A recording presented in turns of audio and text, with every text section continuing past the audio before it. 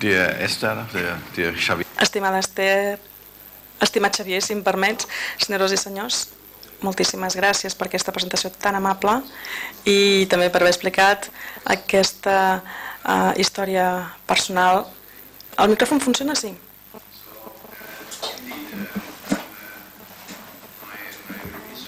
La meva recerca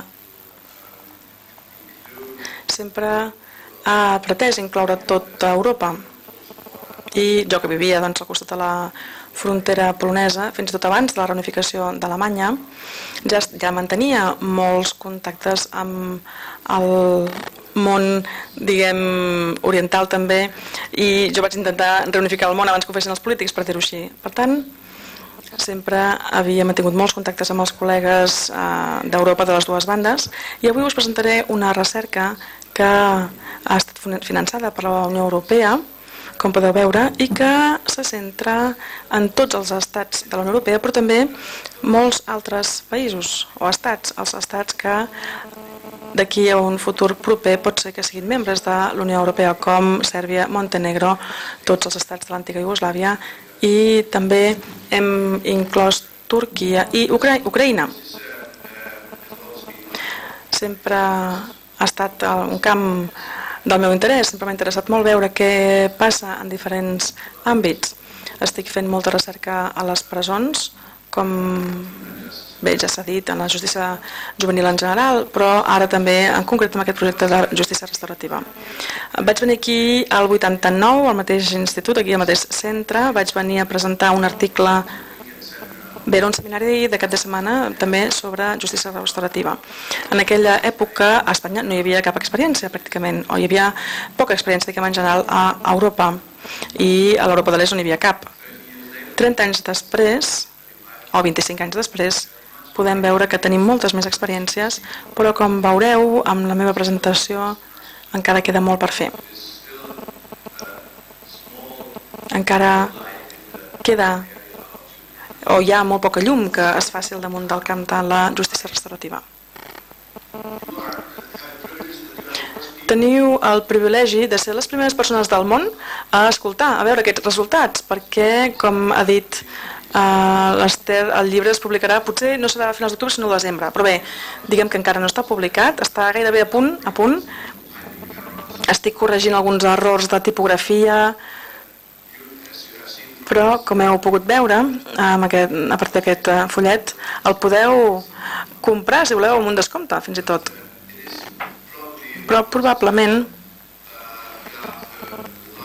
és la major compilació d'informació sobre el que està passant a d'altres països a Europa.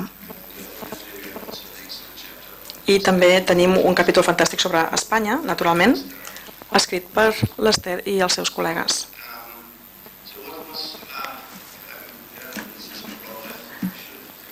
Penso que m'hauria d'apartar una mica, veiem on em col·loco. Esther, vindré al teu costat, així podran llegir millor la pantalla. Els sembla bé així?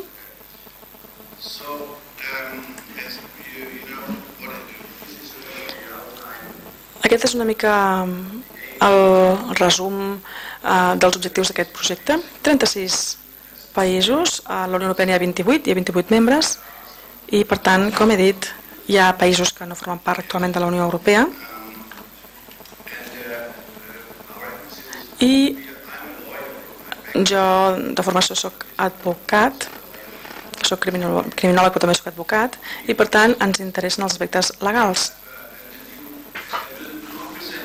No presentaré els detalls de com funciona la justícia restaurativa i la mediació, segurament ja esteu treballant en aquest àmbit, per tant, no, no us donaré cap eh, consell sobre com fer la mediació, però més aviat us ensenyaré el que s'està desenvolupant a Europa des del punt de vista legal i també mostraré quines són les bones pràctiques d'implementació i també presentaré les males experiències, perquè també n'hi ha. Penso que de vegades es pot aprendre molt més de les eh, males experiències que de les bones pràctiques, perquè mai no se sap si les bones pràctiques són transferibles d'un país a un altre. Una cosa que pot funcionar a Espanya pot que no funcioni a França. Per això, presentaré també els desenvolupaments diguem que no han estat tan positius. Aquí veieu els països que han participat en aquest projecte. Tenim informes nacionals de tots aquests 36 eh, països, des d'Àustria fins a Turquia. Són la majoria de països d'Europa de l'Est, d'Europa Central, Montenegro, Rússia, tots aquests estats. I el nostre projecte volia fixar-se en els orígens, els objectius i els antecedents teòrics de la justícia restaurativa. A l'Europa occidental la justícia restaurativa es va eh, desenvolupar als anys 80, quan justament estava començant la meva vida diguem, familiar aquí a Espanya, vaig conèixer doncs, l'Ester, etc. Aquí és quan va néixer. La mm, justícia restaurativa va tenir un desenvolupament fa molt de temps, després es va aturar i després es va passar més a, aquesta, aquest dret que deixava de banda la víctima i que centrava en el delinqüent. La víctima es va redescobrir justament als anys 80 gràcies a aquest uh, nou impuls de la justícia restaurativa. Aquests serien doncs, una mica els antecedents. Després també el projecte analitza la base legislativa de la justícia restaurativa i els diferents, les diferents fases del procediment criminal. El tercer punt és el que té a veure amb les estructures organitzatives. Qui fa la mediació com són els procediments restauratius i com s'implementen en el sistema, eh, de, sistema penal o fora del sistema penal. I també un desenvolupament molt recent consisteix a veure si és possible tenir la mediació i aquests processos restauratius a la presó. I en aquest sentit hi ha algunes experiències positives de les quals parlarem més endavant. I després també hem de fixar-nos en la recerca, l'avaluació de les experiències amb la justícia restaurativa. Hi ha molta pràctica, però hi ha poca recerca. I aquest és sempre el problema. Els polítics volen donar diners per la pràctica, però després mai no es fixen en quin és el resultat d'aquesta pràctica, gairebé mai. Per tant, aquest és el paper del criminòleg i aquests eh, són els cinc capítols que composen l'estructura de cadascun dels informes nacionals d'aquest llibre amb, eh, com deia, aquests 36 informes nacionals. Per tant, si ens preguntem què és la justícia restaurativa, és possible que en un grup de 5 persones, per exemple, tinguem 5 respostes diferents, perquè la justícia restaurativa pot ser qualsevol cosa al final. És a dir, tothom li, li, li dona, li atribueix un significat diferent. Aleshores, el que vam fer va ser trobar aquestes definicions a partir dels estàndards internacionals o a partir de les recomanacions internacionals del Consell d'Europa o en aquest cas és eh, el Consell Econòmic i Social. Per tant, la justícia restaurativa és qualsevol procés en el qual la víctima i l'infractor i quan convingui qualsevol eh, persones o membres de la comunitat afectats per un eh, delicte participen conjuntament activament en la resolució dels assumptes que es deriven del delicte, eh, generalment amb l'ajuda d'un facilitador. Aquest és el segon article d'aquesta resolució de les Nacions Unides, del, del Consell Econòmic de les Nacions Unides. Per tant, veiem que aquesta definició ja conté una cosa important i és que diu persones afectades pel delicte, l'infractor i la víctima participen junts, participen conjuntament. I això és una definició bastant estreta perquè no tots els processos restauratius en requereixen que hi hagi la participació d'ambdues parts. De vegades tenim només una, una reparació o bé, bé l'infractor eh, doncs escriu una carta o mm, torna eh, el que sigui i aleshores ja resol el problema, potser. Per tant, aquesta és la primera part de la definició de Nacions Unides i després, a l'article tercer, de la mateixa, tercera de la mateixa resolució, diu els resultats restauratius són acords que s'aconsegueixen com a resultat del procés restauratiu. Inclouen respostes i programes com la reparació, la restitució i el servei comunitari. I és una cosa molt problemàtica el fet de parlar de serveis comunitaris com una mesura restaurativa. I moltes persones també al nostre grup ho, ho dubten i de vegades diuen que els serveis comunitaris no tenen res a veure amb la justícia restaurativa i naturalment es pot dubtar i en podem parlar si voleu després, però us donaré alguns exemples que mostren que aquests serveis comunitaris poden ser restauratius i com poden ser-ho també mostraré, però a la pràctica, a Alemanya, per exemple, eh, els serveis comunitaris estan molt extesos, la meitat potser eh, dels joves hi van, hm?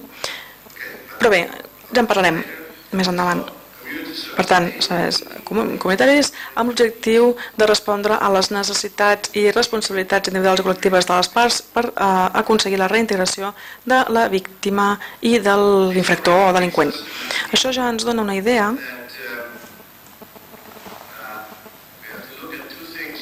que hem de fixar-nos en dues coses quan definim la justícia restaurativa. Primer ens hem de fixar en el procés, i això és molt important per restaurar el procés en el qual les dues parts, les víctimes i els infractors o delinqüents, s'ajunten.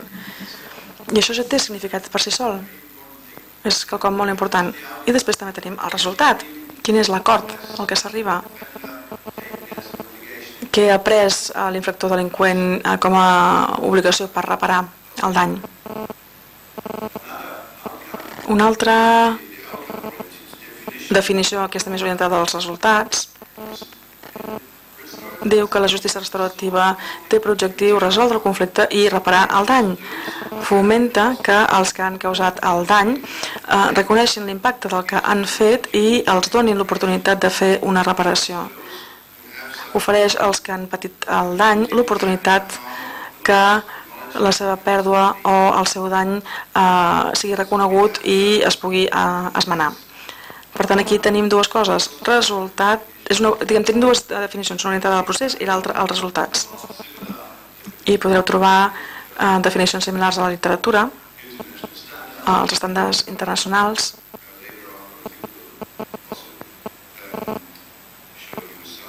Després també us mostraré potser algunes definicions del Consell d'Europa. Per tant, Mirem ara quina és la diferència entre la justícia restaurativa. Diguem que és molt fàcil explicar-ho amb aquesta imatge. Tot està aquí. Aquesta és la justícia tradicional, cega. Justícia. Càstig. És amb aquesta espasa, sí. Em disculpo uh, la traductora pel meu mal anglès, cap problema. Cap problema diu que no és la seva llengua materna, per tant, espera que funcioni, és perfecte, cap problema. Per tant, justícia, cega, i Mediatrix és la deessa del somriure, com deies tu, jo també somric molt, i que dona la mà. És a dir, la víctima i el, eh, delinqüent es donen la mà. El primer procés, per exemple, al principi tenia noms com el procés de donar-se la mà. Diguem que era com el símbol de la fi d'aquests processos, Einschlag.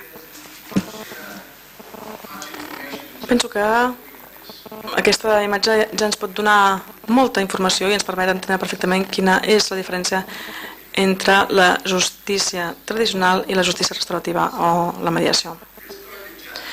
Per tant, la justícia restaurativa pot veure's com una alternativa, com una justícia alternativa. És com diferent.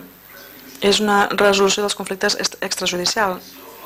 I realment pot substituir el sistema judicial tradicional. Nosaltres, quan érem joves, teníem un somni que era viure només, amb, és a dir, amb aquest tipus de justícia, viure sense justícia criminal. 30 anys després hem de reconèixer que no ha acabat de ser així, perquè tenim alguns delinqüents eh, criminals que potser sí que han d'acabar enviats a la presó i que potser amb la mediació sola doncs, no se'n sortirien. Però fins a cert punt podria ser el sistema de justícia tradicional es podria substituir amb la justícia restaurativa. Quins són els, els elements? Els elements de la justícia restaurativa poden formar part de la justícia tradicional i um, podríem intentar transferir els uh, elements de la filosofia penal. Aquests elements de la justícia restaurativa són mediació, reparació, restitució. És la mateixa paraula, però restitució és la paraula més utilitzada a Amèrica, als Estats Units, i la paraula reparació és més la que té arrel anglosaxona, diguem més europea. I no sé si entendreu el terme mesures diversionàries. És a dir, que això es basa en el principi de l'oportunitat. És el principi de l'oportunitat, si ja el coneixen, perfecte. Per tant, aquesta és una de les precondicions bàsiques d'aquestes mesures. I també pot ser una part eh, addicional d'una sentència custodial o no custodial, és a dir, es poden unir amb sentències de probation, per exemple, o de presó incondicional. I també pot suposar una llibertat condicional de la presó. Algunes paraules sobre la teoria eh, legal i la mediació. Potser hauríem de dedicar-hi més estona, però breument eh, en parlaré. Quins són els principis de la justícia juvenil? Quins són els principis? Un és el principi, el principi de la subsidiarietat o el darrer ressort de càstig. Significa que en la justícia juvenil pensem que hem de donar prioritat a la, al principi de la intervenció mínima. Per què? Per què hem de ser tous, per dir-ho així, amb els menors? Doncs perquè la delinqüència juvenil sol ser eh, episòdic. Normalment els, els delictes juvenils són doncs, petits furts, vandalisme, robar coses, o potser conduir sense permís de conduir, o no dur el tiquet de l'autobús, coses menors en general. Estic parlant de, diguem, del camp més uh, habitual, i per tant quan tenen 20 o 25 anys això ja no ho fan més, s'acaba suposo que tots ho heu viscut, tots som, i vosaltres també, som experts en delinqüència, perquè de joves segur que vau fer alguna cosa, no sé, si heu fumat marihuana. Jo quan ho pregunto amb els meus, els meus estudiants, un 40% han experimentat amb la amb marihuana, un 40% també han conduït beguts. Quan ets jove fas coses d'aquestes, normalment però després això desapareix. Avui ja no es deu ser delinqüents, almenys ho espero, i no cometeu aquests actes. Per tant, està justificat, diguem, en referir-nos a aquest principi de la intervenció mínima, perquè després els joves creixen i canvien, diguem, posen, estar més de peus a terra. Després eh, també teni, donem prioritat al principi de l'educació, l'objectiu educatiu. I en la teoria criminal doncs, són els aspectes de la prevenció especial, la rehabilitació, de la mediació.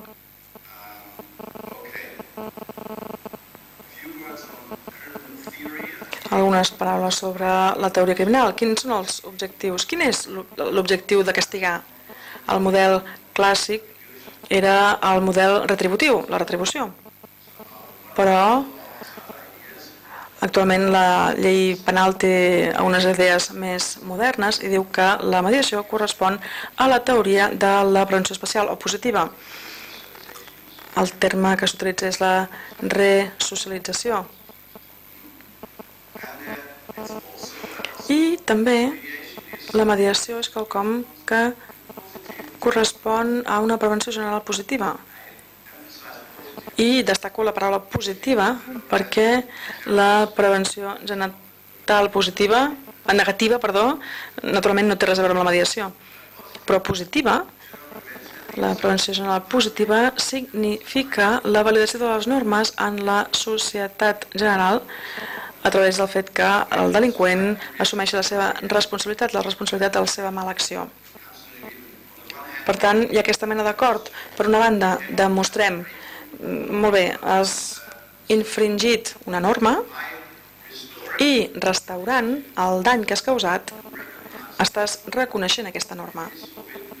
No es pot robar, està prohibit atacar a les persones i reconeixent aquest mal comportament la societat en general veu que sí, que aquesta norma és vàlida, que està prohibit atacar altres persones o el que sigui. Aquesta és la idea de la prevenció general positiva.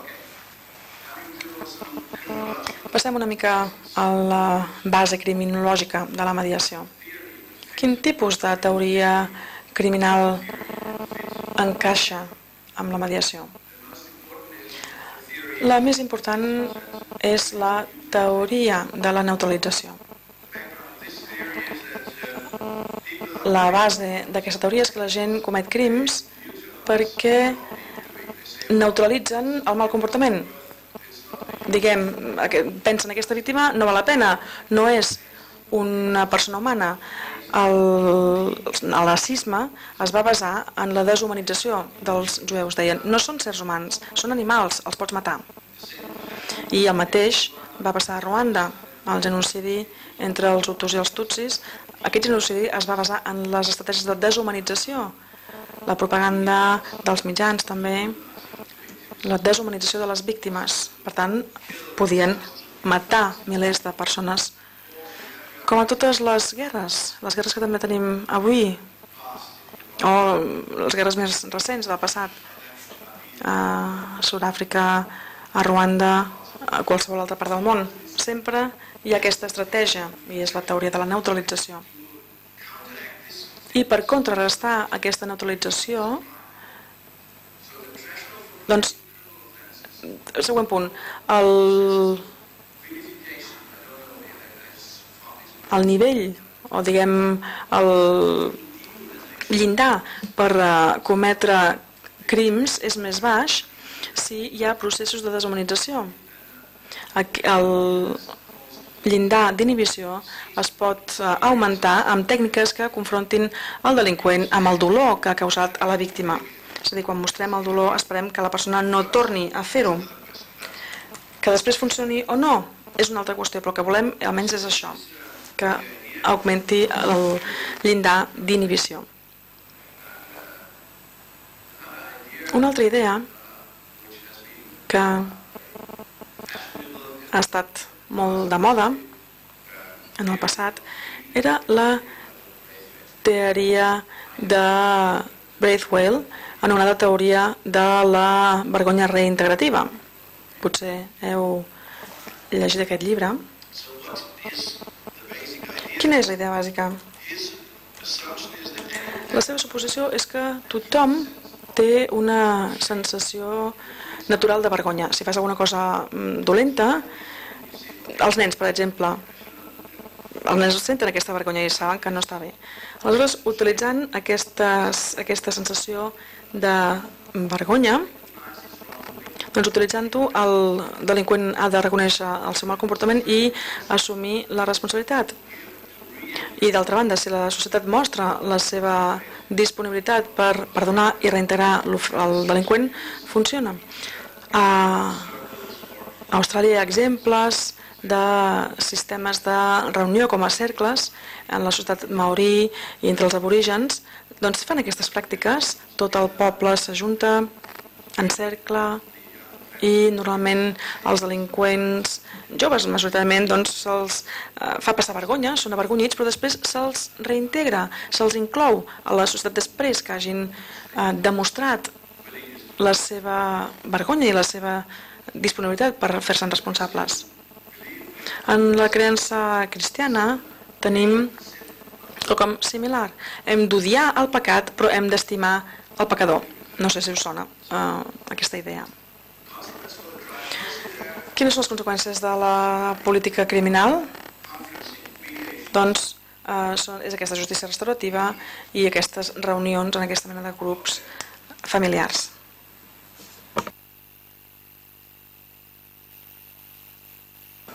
Si ens fixem breument en les arrels de la justícia restaurativa, que va tan lluny com l'edat mitjana.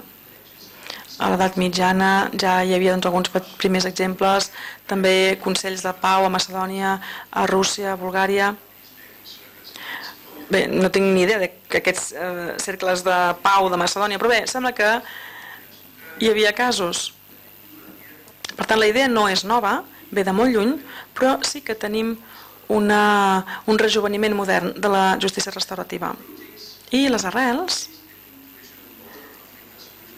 de, els trobem en les poblacions indígenes, la ciutat maorí, en Nova Zelanda, els aborígens d'Austràlia, etc.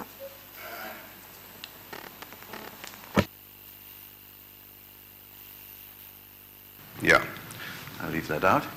So, motors for reform. Motors per la reforma. Com s'han desenvolupat a Europa? Pues, doncs, perdó, els més antics, els més um, vells d'aquí, recordarem aquesta publicació d'aquesta uh, criminòloga noruega que parlava dels conflictes com una propietat. És a dir, l'Estat ha robat el conflicte a la víctima i el delinqüent. És a dir, ara l'Estat castiga el delinqüent i la víctima no té cap paper en aquest joc. I, naturalment, això era un punt de vista crític. Ella proposava abolir la llei criminal moderna i reinventar la justícia restaurativa. Eren persones, persones com Nis uh, Kristin, uh, Hulsman i Matt Thyssen, també és noruec, i Hulsman és um, holandès. Bé, aquesta era una arrel bàsica o un motor bàsic per la reforma cap a la justícia restaurativa. El segon motor va ser el moviment de les víctimes que van reforçar el paper de les víctimes. A Alemanya, en particular, a principis dels anys 80, moltes publicacions deien que les víctimes no tenien drets als judicis, no estaven eh, protegides era una segona victima, victimització, es feia moltes crítiques al paper dèbil de les víctimes en els processos judicials. I hi ha hagut moltíssims canvis, podria estar parlant uh, una hora de totes les reformes uh, legals fins ara fa poc.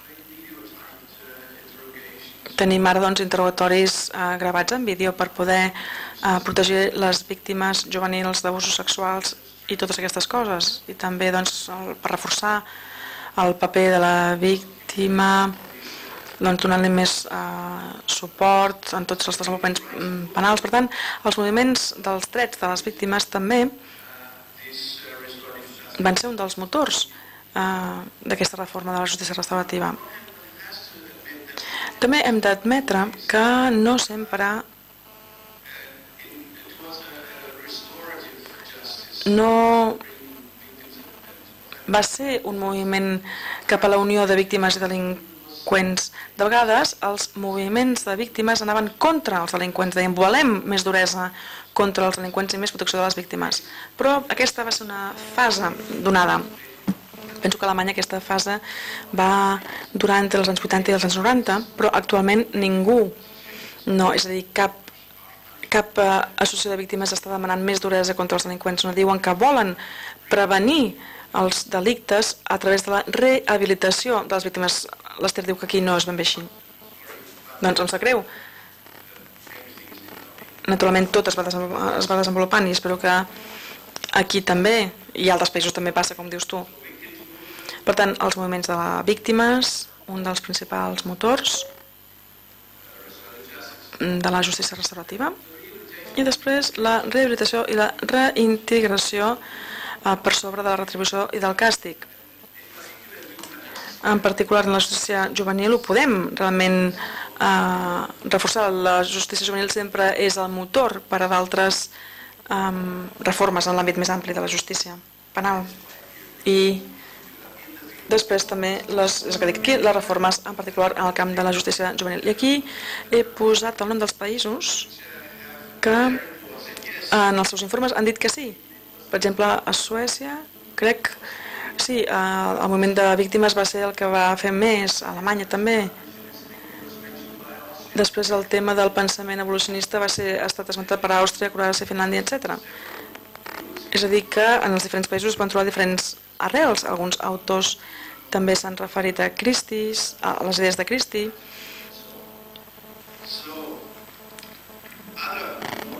Altres motors han estat, per exemple, el compliment dels estàndards internacionals, l'Organització de la Unió Europea.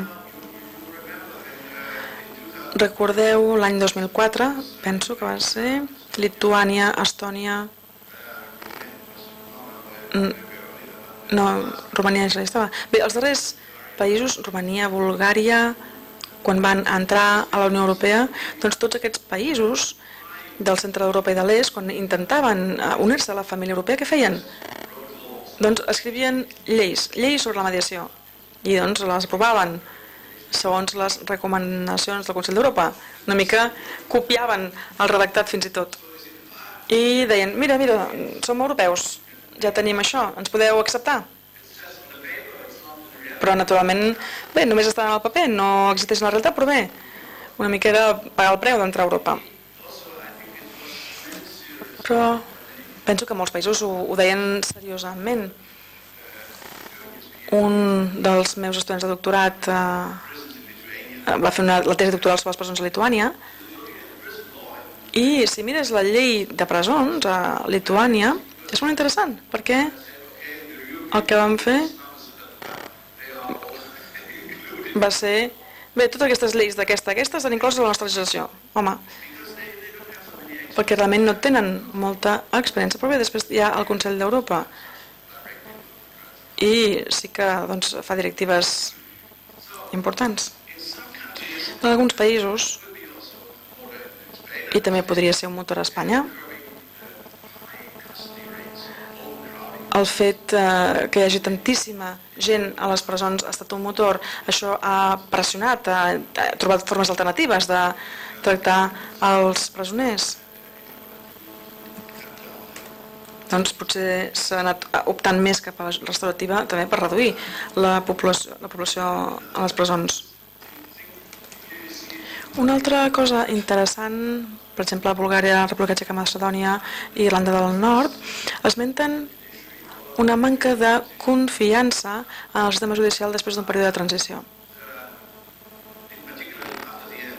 Després mm, de la Guerra Civil a Irlanda del Nord no confiaven en la policia i a Alemanya també va ser el mateix quan jo, vaig, quan jo anava, vaig anar a l'Alemanya de l'Est, ningú no anava a la policia, perquè eren els mateixos que havien format part dels serveis secrets anteriorment, de l'Estasi.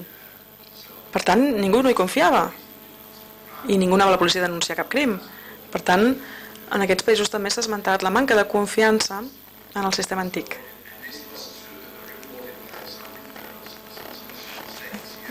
Aquí tenim els països i també l'ineficiència d'un sistema realment saturat i la càrrega de casos, si un any triga, perdó, si un cas triga un any a ser jutjat, doncs naturalment no vols esperar tant de temps per una reparació.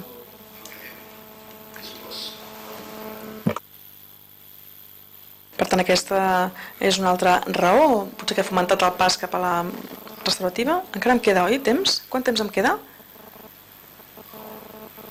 Una, una hora? Bé, espero que sereu pacients, suficientment pacients i que no us victimitzaré. Bé, els estàndards internacionals. El més important, la recomanació més important és la del Consell d'Europa, és doncs, la recomanació sobre la mediació en assumptes penals de l'any 99,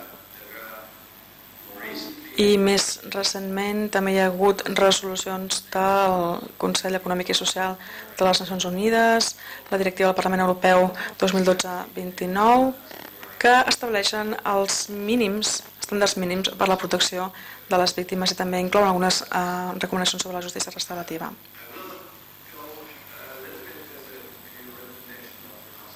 Ara parlaré una mica de la recomanació del Consell d'Europa sobre la mediació en assumptes penals.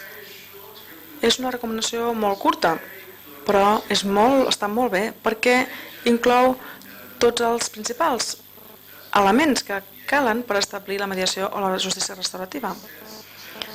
La primera frase és que la mediació només es pot dur a terme si les dues parts estan d'acord, és a dir, la voluntarietat dels participants. Això és molt important, és un punt crucial. No es pot imposar la mediació a algú, sinó que cal tenir l'acord de les dues parts. Després, la mediació en els assumptes penals ha de ser un servei generalment disponible. És a dir, un servei que estigui generalment disponible vol dir a nivell nacional, no només a Barcelona, sinó també als suburbis de Barcelona i a tot el país de Catalunya. I després veureu que a molts països, en particular als països d'Europa de l'Est, no hi ha un sistema nacional de mediació, sinó que hi ha petits punts. Potser a Zagreb, a Croàcia, però no a tot el país. Per tant, després de 30 anys fins i tot de justícia restaurativa a Europa, encara estem a les beceroles, estem com a molt en la meitat del procés de desenvolupament. La regla 4. La mediació ha d'estar disponible a totes les fases del procés de la justícia criminal i tampoc no és sempre així. Moltes vegades està a la fase preliminar, quan hi ha la denúncia a la policia pot ser doncs, la policia o el fiscal que doncs, passi el cas a mediació. Però també el jutjat, el tribunal, eh, hi ha d'haver la possibilitat d'avançar en aquesta, en aquesta via de la mediació i de la justícia restaurativa. Després en parlarem. I la cinquena norma, els serveis de mediació han de disposar d'una autonomia suficient dins del sistema de la justícia criminal. I podeu dir que sí, que és obvi, que ha de ser així. Però, de fet, a mi em va sorprendre. A Turquia han dit, sí, tenim mediació, la fa el fiscal. El fiscal? Com? Pot ser el fiscal o mediador? És impossible. I en altres llocs el mediador és també el jutge. Per tant, aquestes regles del 99 deien molt bé que havia de ser autònoma la mediació.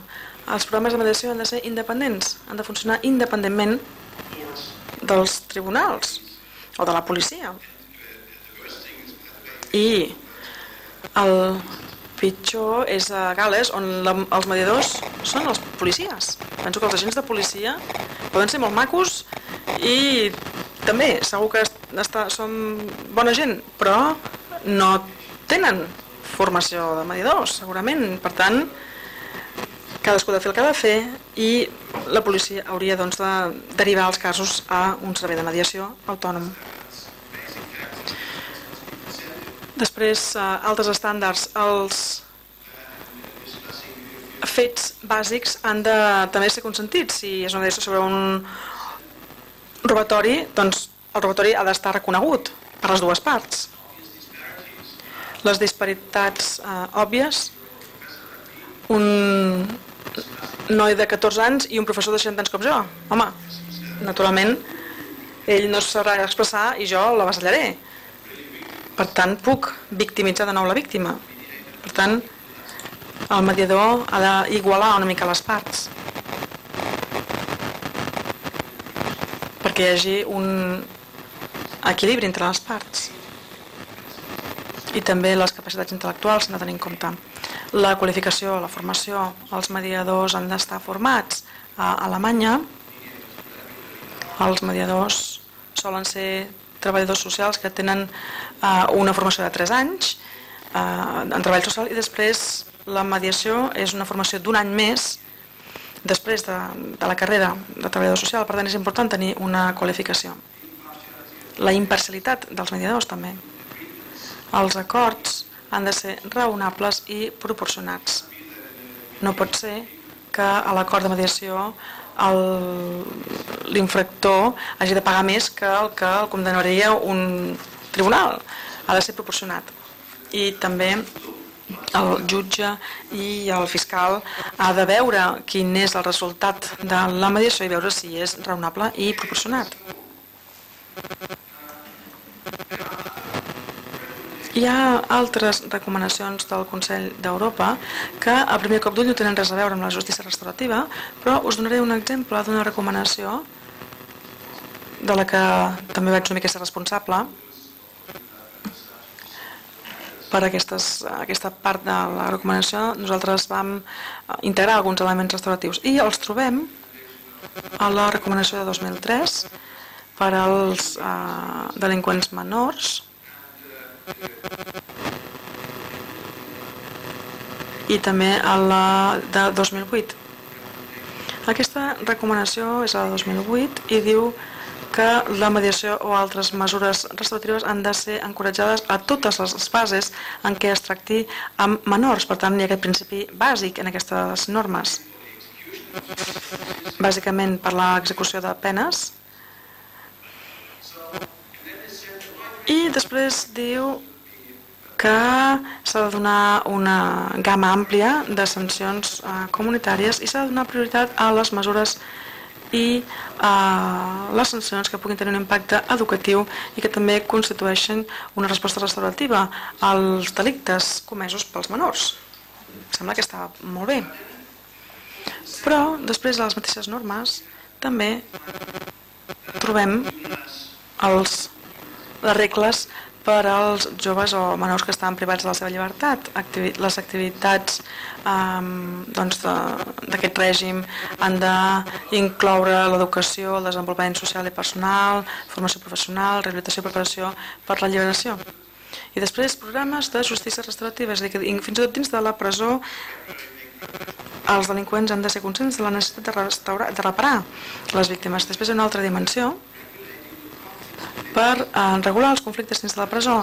Sabem que els presoners moltes vegades són violents entre si, entre el personal de presons, hi ha conflictes a les presons. A totes les presons hi ha violència, hi ha molta violència, per exemple, a les presons alemanyes, encara que no tenim sobresaturació per ara.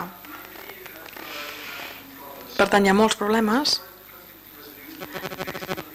Doncs els, la resolució restaurativa dels conflictes han de ser prioritats el, per sobre d'altres càstigs i mesures disciplinàries. Per tant, sempre s'ha d'intentar desescar el conflicte parlant,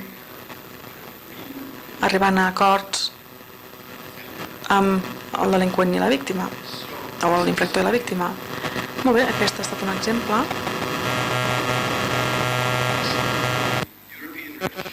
d'algunes recomanacions europees i hem vist que podem trobar elements restauratius en diferents recomanacions.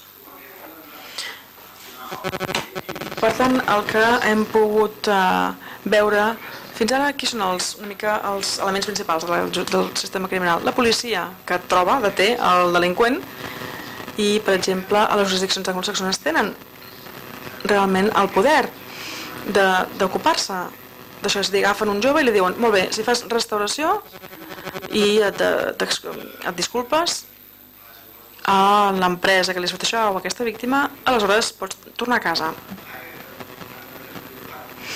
Jo sóc una mica reticent perquè les experiències a, Anglaterra és que a vegades la policia és molt dura i de vegades és més dura que el que seria el tribunal o el fiscal i tampoc no volem, almenys a Alemanya i a Espanya penso que és el mateix, no volem que la policia tingui el poder de la justícia restaurativa o que tingui el poder de sancionar els delinqüents. Després eh, també coneixem els fiscals o els advocats de l'acusació. La, si s'aplica el principi de l'oportunitat, d'aquests 36 països crec que 31 han dit que tenen aquest principi de l'oportunitat i que poden eh, diferir casos o derivar casos.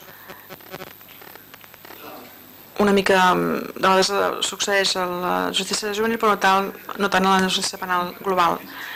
Fa 35 o 40 anys a Alemanya teníem el mateix problema, però hem introduït el principi de l'oportunitat de manera més general a finals dels anys 60 i anys 70.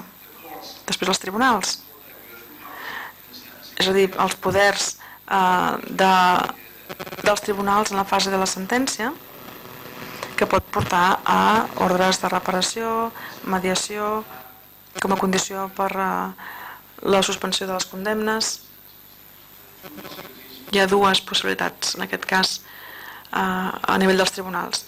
I després tenim les autoritats de les presons, els governadors, potser, els directors de les presons, per eh, dur a terme aquests programes de mediació i de reparació a les presons, com ja he comentat abans. Quins tipus de justícia restaurativa podem trobar? Podem trobar la mediació i la reconciliació entre la víctima i el delinqüent. La majoria de països ho tenen, o almenys diuen tenir-ho. 35 dels 36 almenys han dit que sí que tenen eh, aquesta forma de justícia. Després hi ha el que s'anomena conferencing, és a dir, aquesta mena de reunió. Ara ho explicaré què vull dir amb aquest terme de conferencing, perquè és un enfocament molt ampli. La mediació és la víctima i el delinqüent i el mediador, la, aquest enfocament de la conferència, d'aquesta reunió, és més multitudinària, hi ha més gent. Però hi ha bastants països que diuen que tenen al principi vaig pensar que només eren els maoris i els aborígens que funcionen amb aquesta mena de cercles i de reunions. Però no m'imaginava que això es pogués eh, fer a Barcelona amb milions de persones, potser sí, no sé. I després una altra forma que tenim aquesta forma que és independent dels processos restauratius. Intervencions autònomes, per exemple, o independents dels tribunals. I també aquesta forma de reparació com a mitigació de les sentències o la derivació. I després tenim el servei comunitari. Crec que tots 36 països disposen d'algun tipus de serveis comunitaris com a sanció independent o com a substitut de les multes, per exemple, a Alemanya en el sistema penal adult o com a condició per a altres sentències.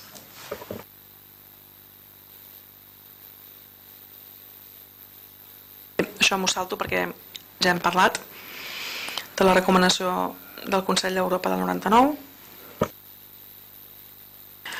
a Turquia, Àsia i Lituània els mediadors són jutges i al Regne Unit, doncs, com he comentat, la mediació eh, conduïda per la policia que diria que és bastant problemàtica. Pel que fa a la implementació de la mediació, hi ha bastants variacions. En termes de la provisió, provisió a nivell nacional, és a dir, els organismes responsables de proporcionar aquests serveis de mediació entre víctimes i delinqüents poden ser ONGs, és a dir, organitzacions no governamentals, el servei de probation, els serveis socials, eh, empreses privades, hi ha moltes variacions que podreu trobar. I en particular també en el camp de la justícia juvenil tenim serveis privats i d'altres serveis que també hi treballen. I després també tenim variacions en la formació i l'estat professional dels medidors. N'hi ha que són voluntaris, n'hi ha que són professionals, n'hi ha que són eh, treballadors socials o de probation, psicòlegs. I també aquí tenim mm, la resposta a la pregunta doncs, que aquesta mediació havia de ser un servei generalment disponible. I veieu les respostes, veieu que hi ha països que ho tenen implementat a nivell nacional, a Bulgària no n'hi ha, per exemple, o a Croàcia, República Txeca, Estònia tampoc. Són tots els països, els nous països, diguem, d'Europa. Estan tot just començant amb alguns projectes i la majoria d'estats no tenen una disponibilitat nacional de la mediació. Només Suècia, Polònia, Noruega, Països Baixos i Macedònia. Almenys és el que diuen. Mm, Jo no n'estic segur. I després també tenim diferents enfocaments de la mediació. Alguns països diuen que és una estratègia orientada a la víctima, diuen que la mediació s'ha de basar en una orientació cap a la víctima. Això té algunes alguns avantatges.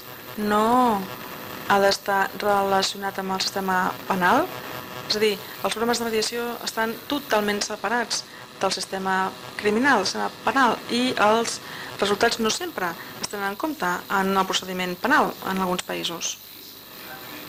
Això té l'avantatge,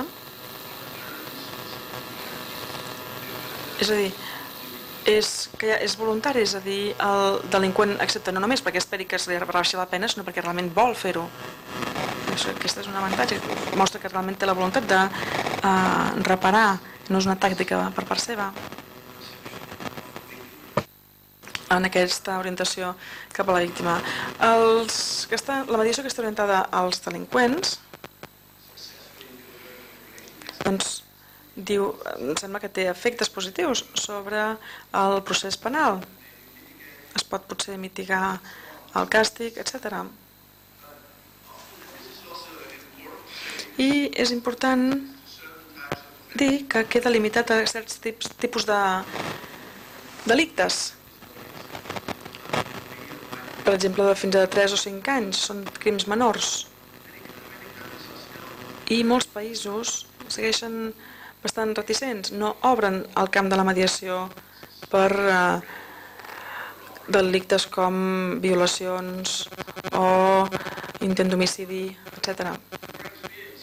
Però quanta més experiència tens, més es, pot, més es pots dir que els casos més greus també poden passar a mediació. No diria que tots els violadors han de parlar amb les víctimes que han violat, no. És un cas molt excepcional, però s'ha d'obrir el camp per a qualsevol cosa que hi pugui entrar i de vegades la violència domèstica no sempre és violació, pot ser potser doncs, violència contra els fills. És possible mediar aquests casos o almenys dur-los a una conclusió.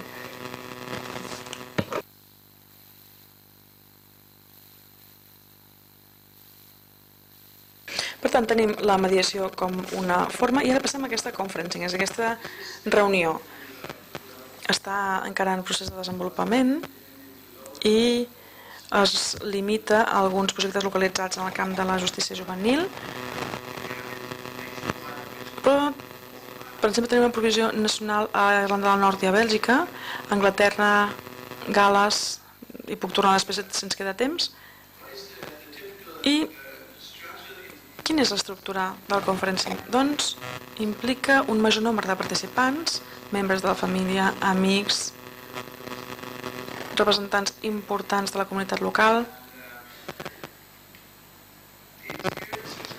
L'experiència amb aquestes conferències, aquestes reunions, ha tingut alts nivells de satisfacció per part dels participants i també uns nivells de reincidència prometedors, sobretot a Irlanda del Nord. Abans he parlat de l'eficàcia d'aquest sistema, d'aquesta estratègia.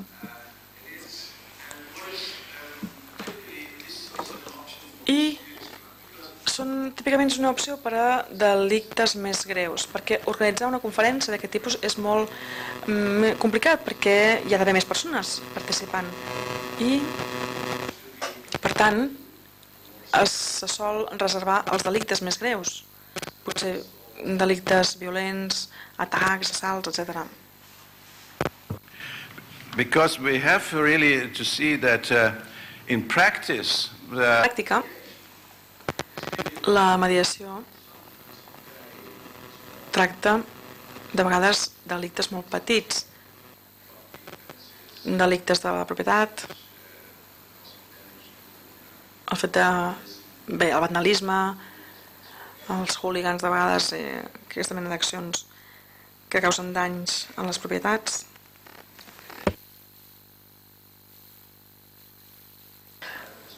Després tenim la reparació fora dels processos restauratius. La reparació Pot ser un ordre, una sanció, pagar diners a la víctima, potser per una rehabilitació, una recuperació de la salut o potser per reparar un material i no és necessàriament com que pertany a la justícia restaurativa, però sí que conté elements restauratius. Poden ser mesures educatives en l'àmbit de la justícia juvenil, també pot contenir doncs, obligacions,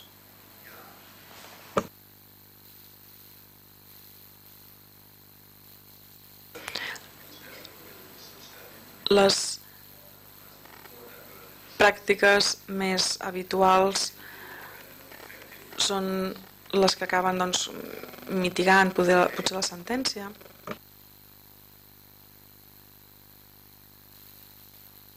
Els serveis comunitaris. És la tercera mesura. Bàsicament s'utilitza com a alternativa a les sentències de, que apliquen custòdia o multes per alguns casos dins d'un llindar de gravetat específic. I la sanció sol ser independent. Diguem que va néixer el servei comunitari com a aquesta recerca d'alternatives a l'empresonament. Aleshores, la pregunta és, els serveis comunitaris entren dins de l'abast de la justícia restaurativa? En aquest llibre, alguns autors diuen que no, que no té res a veure amb la justícia restaurativa, sinó que simplement és una sentència eh, repressora, que no té cap impacte eh, educatiu en el camp de la justícia juvenil, per exemple, d'altres diuen el contrari.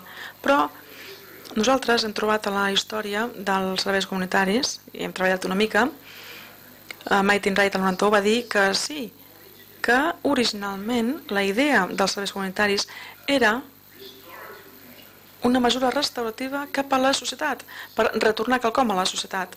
Has mm, infringit la llei, doncs ara has de fer quelcom bo a la societat. Per tant, ha de ser, aquests treballs han de ser en benefici de la societat. Pot ser netejar doncs, qualsevol instal·lació, ha de ser quelcom simbòlic Mm, per la justícia o en el sentit de la justícia restaurativa. Molt bé, però malauradament el desenvolupament a diferents països ha anat cap a la direcció contrària. El Regne Unit, Anglaterra i Gales van dir molt bé, els serveis comunitaris han de canviar de nom i s'han de dir càstig comunitari i el, la feina ha de ser dura, eh, difícil, perquè realment el delinqüent senti que està sent castigat. És una nova idea punitiva d'aquesta interpretació més repressora o repressiva dels serveis comunitaris. A Alemanya, com he comentat, ha més d'un 40% dels, les, de les sentències juvenils són ordres de serveis comunitaris. I de vegades són molt estúpides, molt tontes aquestes ordres. Per exemple, netejar els cotxes de la policia. Què, què, hi ha de, què hi ha de restaurador en netejar els cotxes de la policia? No tinc res en contra dels cotxes de la policia, però... Per tant, els serveis comunitaris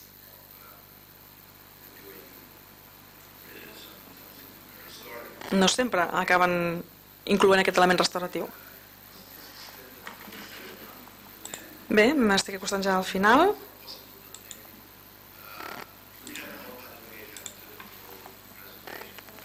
i de tota manera si després suposo que els passarà una còpia de la presentació aquestes són les fases del procediment criminal la derivació pot ser una sanció eh, del tribunal amb un caràcter restaurador, pot incloure serveis eh, comunitaris i pot ser una base per la mitigació de la pena veieu les diferents fases als diferents països i també es pot dur a terme el context de la presó. Aquí tenim aquesta norma de les, uh, de la llei de presons europea, diu que sempre que sigui possible els utilitzats de la presó han d'utilitzar mecanismes de restauració de mediació per resoldre les disputes amb i entre els presoners. És la llei sobre de presons que inclou aquest article i hem de pensar no només en les disputes entre els presoners i a més els presoners, sinó que també la nova idea és que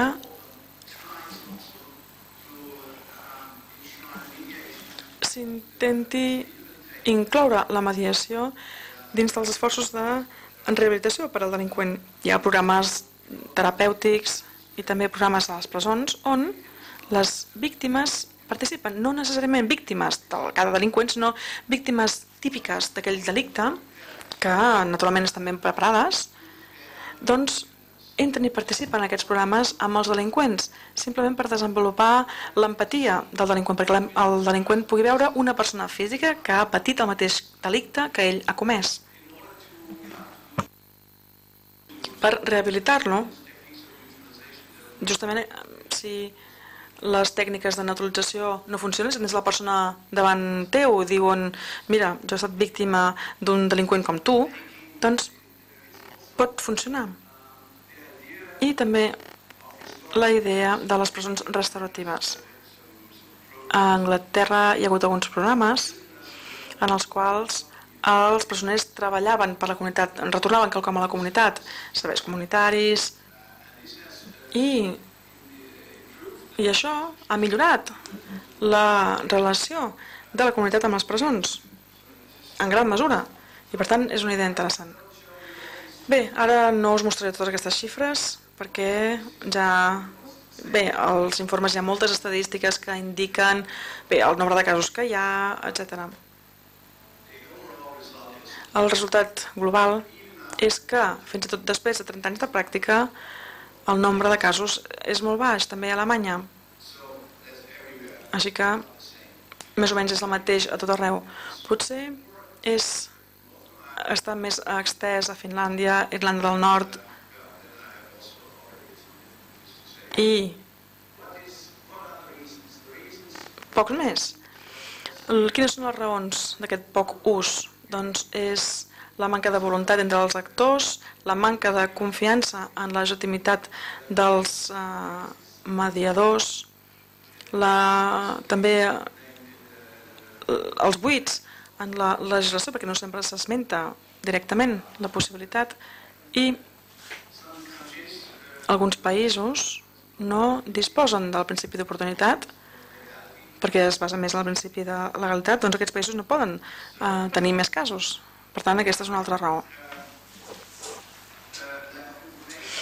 També manca d'informació i coneixement dels beneficis de la justícia restaurativa entre els legisladors, els polítics, el públic en general. Moltes vegades la gent no sap què és. Per tant, s'ha de publicitar, s'ha de promoure aquesta idea entre la societat. Un bon exemple, si em permeten explicar una altra història, tenim un amic eh, a la República Txeca que va ser ministre de Justícia als anys 90, és col·lega nostre, és advocat penalista, és criminòleg, doncs va introduir sí, m'he oblidat de ser d'Espanya, va introduir la mediació a la República Txeca i al cap de dos anys tenien 15 casos. Els fiscals deien que no, no volien. Què és això? No, això és nou, res de res segur que és alguna, cosa que ve d'Europa Occidental, no ens agrada. Per tant, s'ha d'educar als fiscals, als tribunals, als jutges, perquè ho acceptin com una bona idea. Però si simplement introdueixes quelcom a la llei i no tens la infraestructura i no hi ha, doncs, la, la gent no té la ment oberta, doncs no funciona. Per tant, s'ha de formar la gent i explicar a la gent els beneficis de la, de la justícia restaurativa. I també la manca de voluntat i també l'ambient polític. Per exemple, o el clima punitiu. Al Regne Unit no volen tenir-ho, volen castigar, volen ser, diguem, adoptar enfocaments més durs. I arribo al darrer punt, avaluació de les mesures de la justícia restaurativa, amb poques excepcions, com Anglaterra i als Estats Units, gairebé no hi ha hagut una recerca eh, metodològica satisfactòria sobre la reincidència. Alguns estudis posteriors indiquen que la justícia restaurativa és capaç de reduir la reincidència. Sembla que hi ha proves i almenys mm, no és menys favorable en comparació amb altres sancions que no impliquen la custòdia. Em saltaré els detalls d'aquests estudis d'Alemanya, ho podeu llegir després, bàsicament és el mateix. Sí que parlaré d'aquest metaanàlisi que compara dotzenes de, recerques de, de projectes de recerca perdó, i indiquen que, la, que els programes de justícia restaurativa aconsegueixen eh, índexs importants de satisfacció entre les víctimes i els delinqüents. I també la percepció de justícia, és a dir, la víctima diu sí, ha estat un procés just i la víctima i la, el delinqüent també. Per tant, la justícia restaurativa se sol eh, associar amb uns efectes prometedors pel que fa la eh, reincidència. Aquesta cita de Bonta i col·laboradors les, les intervencions de justícia restaurativa de mitjana s'associen amb reduccions en la reincidència. Els efectes són petits, però són significatius. I també eh, queda clar que els estudis més recents estan produint uns efectes més importants. Per tant, avui ja sabem què funciona amb els delinqüents. Tenim eh, estratègies més basades en l'evidència i la justícia restaurativa sabem que pot ser una estratègia justament basada en l'evidència, entre d'altres. Altres cites amb algunes indicacions sobre els, les, els nivells de reincidència que són baixos. Sherman Strang destaquen un altre punt important i és que la justícia restaurativa té el potencial de reduir els costos de la justícia penal. La derivació pot reduir la càrrega de casos i a més, es poden reduir el nombre de delinqüents que són jutjats. Per tant, a la llarga també es pot reduir l'empresonament no directament imposant un ordre de mediació en lloc d'una sentència de custòdia, però sí que a la llarga pot haver-hi una, es pot posposar i fins i tot una habitació de la presó perquè en molts casos hi ha molts delinqüents que no tornen a delinquir. I finalment, la justícia restaurativa és una estratègia desitjable i prometedora que aconsegueix els millors resultats quan hi ha processos restauratius. I arribo al final amb això. Acabaré amb això. Per tant, la visió general seria que la mediació ha estat implementada en gairebé tots els països, tot i que fins a un grau limitat el, les conferències o les reunions, el conferencing, és una de les coses importants de cara al futur per ampliar l'abast de la mediació a delictes més importants i per tant aquest conferencing pot ser una estratègia. Hem de seguir investigant i expandint l'ús de les, dels processos i les pràctiques legislatives a les presons. Penso que és també un, un punt important per desenvolupar el futur. Hem de desenvolupar més programes per treballar a les presons amb els eh, delinqüents en aquests processos restauratius. Sempre ens trobarem amb aquest conflicte entre els paradigmes de la, del populisme penal i la justícia restaurativa. Però tinc la sensació que el populisme penal està baixant degut als costos eh, diguem que aquests costos són tan importants a Espanya la població a les presons és el doble que a Alemanya podeu estalviar diners, estalviareu diners si els teniu fora de les presons i per tant hi ha alternatives per a aquests presoners, per a aquests delinqüents empresonats. Després també la necessitat de crear un suport social eh, per la justícia restaurativa entre el públic en general, els professionals eh, de la justícia penal, els legisladors i els polítics. I també cal eh, fer més investigacions per poder tenir una estratègia basada en l'evidència. Molt bé, això és tot. Si teniu qualsevol cosa, aquí teniu les meves dades i també si voleu demanar més informació.